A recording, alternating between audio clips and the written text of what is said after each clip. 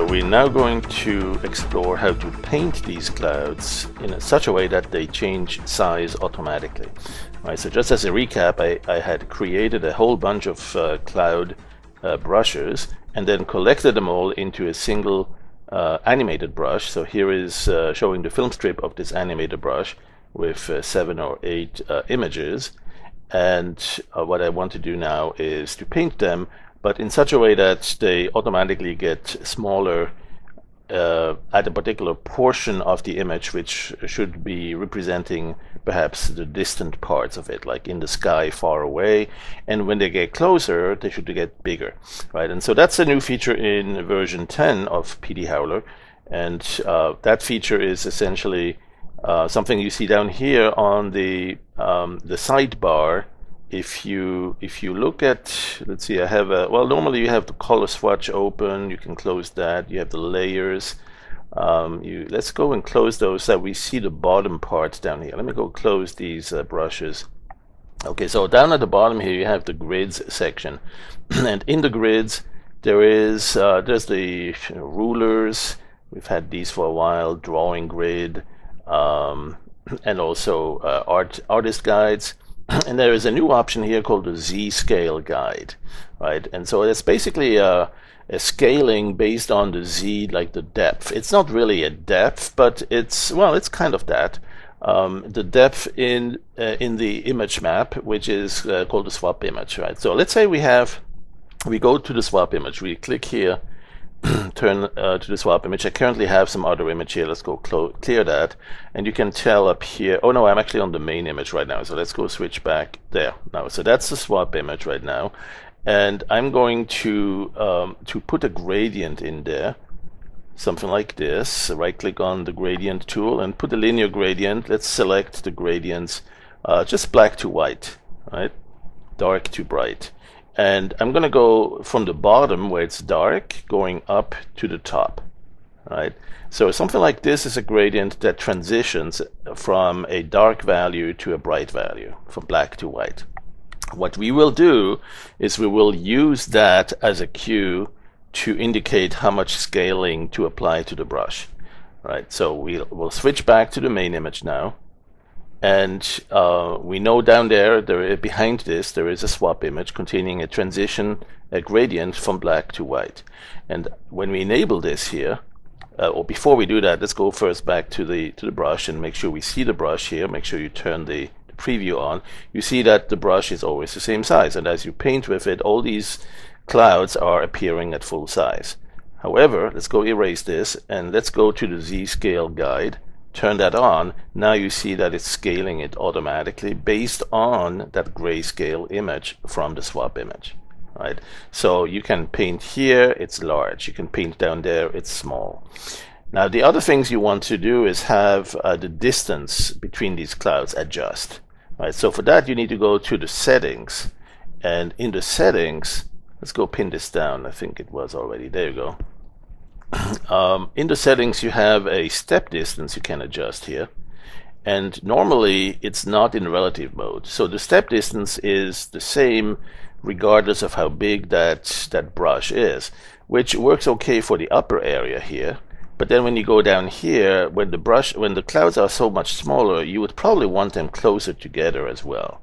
So what you need to do is check the relative box. So it's relative to the size right? And then that way the big ones will be appearing at uh, a big step distance and as you get closer they come closer together as well.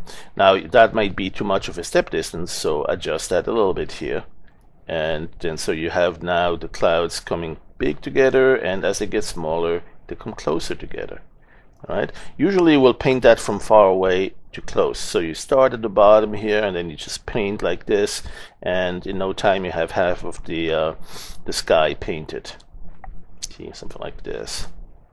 So you can you can easily um, just plaster all over the place here and have a, a couple of small clouds appearing and and really the type of image you have in that cloud will also have a big influence on how good that sky looks right obviously um, but there is there's a lot of value in just having that automatic scaling based on the swap image Now, in this case, we are under the clouds. You can also see that work uh, over the clouds, right? So let's say, for instance, we, we draw the, um, let's go and invert, you know, vertically flip this image from the swap. Uh, let's go to flip vertical, right? Or, or even just uh, redefine the, uh, the, the gradient. Let's go right click, uh, linear gradient, and this time we want to do a, uh, kind of at the middle of the picture, have the horizon there, so we go from black to white down to the bottom, right? Something like this. Okay, and um, you can now switch back to the main image, and your brush will now scale to be big at the bottom and kind of slow towards the horizon.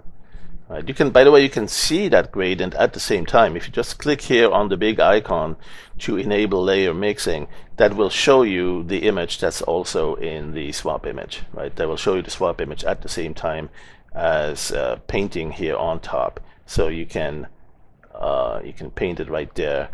Um, and never mind the fact that it's looking dark, it will go away when you stop the blending. Right here it is. You have the the clouds um, as if you're looking like flying over the clouds and you have a view above the clouds there. Now, there's uh, many other ways to use that. That gradient uh, that you have in the in the swap image, uh, it doesn't have to be a gradient just like that. It can be you know any sort of patterns. Um, you could have, uh, let's say, for instance, you you draw a you render a, uh, a checkerboard, yeah, something like this, big one, big checkerboard, and you go from bright to dark, right? So uh, anything like that, um, as a as a checkerboard, you see as you move the brush across it, here you have a, an area where it's probably over the black area. Let's go see that. See when it's over, when you're placed over the dark area of the checkerboard, the brush is small, right? And as you, you paint small ones, and then as you go over the big ones here, you have you have some big brushes appearing. So there's all sorts of funky stuff you can do with that. Uh, perhaps one of the most uh, memorable or uh, important ones also is uh, painting trees uh, of different sizes. All right, so let's see if we have a, a very easy tree image we can grab um, as a custom. You know what? I don't know where I have them. So I'll, I'll just paint one, uh, a new one. So I'm going to go to the foliage brushes and just create some sort of a tree um, tree image. Let's go turn this brush off for now. Um, plain, plain old tree. Where do we have our generic trees? Trees, trees, trees. Evergreens. There's so many there to choose from. Shrubberies. Oh, some willow trees. Yeah, let's grab one of those. Now that one's a small one, that one's a small one, and that one's a big one. So depending on where you hit it, that also will be scaled differently, right? So the, the particle brushes, the foliage brushes, they all have now the ability to be scaled automatically based on the uh, gradient that you have or based on the image you have in the swap.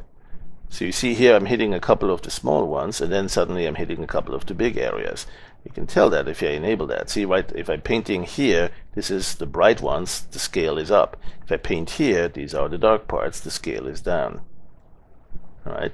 So uh, same thing here. Therefore, if you if you use that with a gradient approach, if you if you paint in the swap image, right? If you go to the swap image here and simply load a gradient of uh, something like, uh, let's say, linear gradient, and you paint something like this, actually the other way around. Far away would be small trees, close would be bright trees, so you uh, big trees, so you need that to be something like this. Now, as you paint and switch back to the main, now as you erase this, if you if you want to guide, you you want to see the swap image here at the same time, you can. Um, you can see here it's going to be big trees. Oops, wait, I need to enable the the um, that uh, brush again. Um, let's do the windblown tree. So here is here are some big ones, and then back there they're getting smaller and smaller. Right, so that's that's the technique with this. You essentially have a um, a very easy way to change the scale, change the size of the uh, brushes based on an image that you don't have to see, but you know is there in the swap image. So you can you can paint a couple of small trees back there, and as you come closer to the scene, to the front of the scene, they automatically get bigger. All right, and really that's that's now possible because we added this uh, tiny little detail right here under particles. If you look at uh, the the particle brushes, there is now a scale. If you look on the foliage, there is a scale as well. And so these these parameters um, can now. I'm not sure if we have that for this one here, um, or for for the orbicals. Uh, but certainly for, for foliage and for particles, uh, there is an automatic scale possible because we have sort of exposed that overall scale parameter.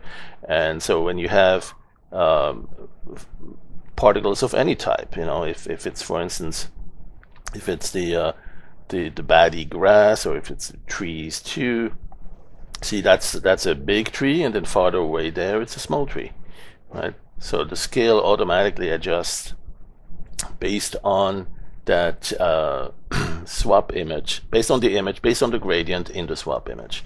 And that's uh, simply enabled right here with this checkbox, Z-scale guide.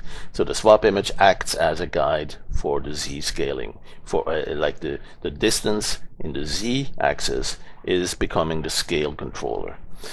so, all right, hopefully that will give you some great ideas on how to uh, quickly paint some backdrops, uh, clouds, uh, trees on top of mountains, uh, you know, landscapes that disappear in the far distance. All of that can easily be achieved with this particular feature. All right, thanks uh, for watching. We'll see you next time.